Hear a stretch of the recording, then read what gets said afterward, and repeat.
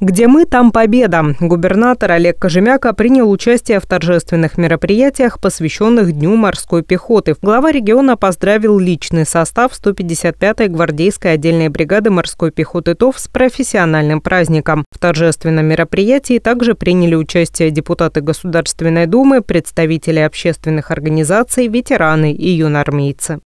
От всей души поздравляю вас с Днем морской пехоты России. Приморский край – надежный оплот восточных рубежей нашей страны.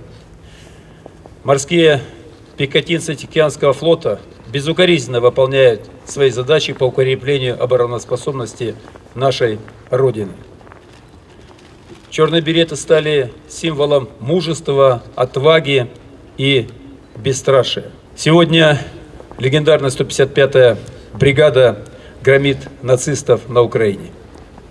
Ровно 80 лет назад там же громили нацистов наши деды и прадеды. Там, где мы, там победа. С этим лозунгом живут морпехи, показывая образцы бесстрашия и мужества.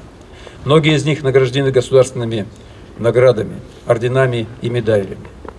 Шести морским пехотинцам присвоено высокое звание Героя России, в том числе командиру бригады Гудкову Михаилу Евгеньевичу. За время боев 155-я бригада морской пехоты была удостоена высокого звания гвардейской. Мы по праву гордимся вами, склоняем голову перед павшими товарищами.